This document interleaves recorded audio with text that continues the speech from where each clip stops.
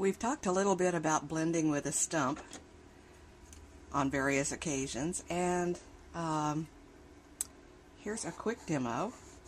Pepi, would you look this way, please? Thank you. my neighbor's cat is here being my model, as he so often is. Pretty boy. Come on, boy. Look this way. Smile for the birdie. Naturally, he's pretending to be asleep. So, I lay in some quick tone.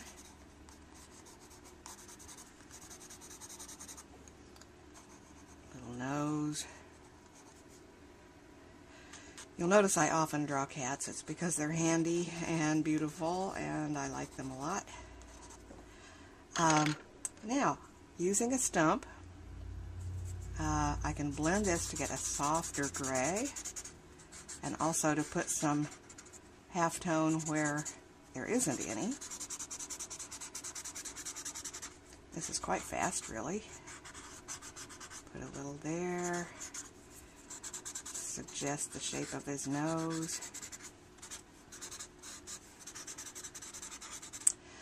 Now, if you are not satisfied with how much tone you get, this is a um, sharpener made with layers of fine sandpaper, and as you can see, I've sharpened my pencil with it, and you can pick up some of the graphite from there and draw with that if you want to add some additional value or tone. Very handy getting quite dark here.